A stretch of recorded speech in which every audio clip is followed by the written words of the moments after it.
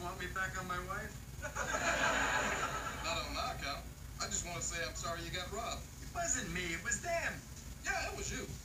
Somebody smashed your car windshield, stole your radio, and wrote "Wash me" on your hood. My car? Stole my radio? Hey, Bundy, the thieves have a point. You really ought to wash your car. Get out! Out! Out! Pretend there's a keg on the lawn! Out! Out!